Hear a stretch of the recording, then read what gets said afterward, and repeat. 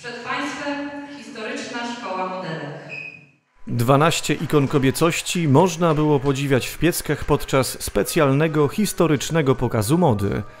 W rolę znanych pań wcieliły się dziewczęta z enklawy artystycznej działającej w Pieckach. Na pokazie widzowie zobaczyli Coco Chanel, Gretę Garbo, Joannę Dark, Marilyn Monroe, Kleopatrę,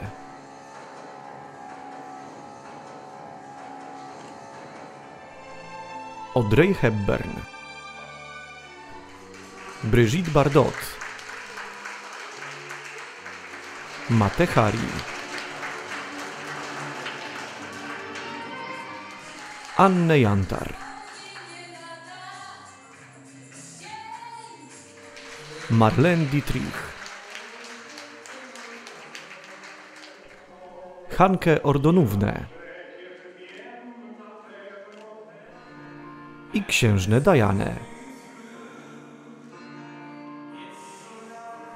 Historyczny pokaz mody był podsumowaniem projektu Historyczna Szkoła Modelek realizowanego przez enklawę artystyczną.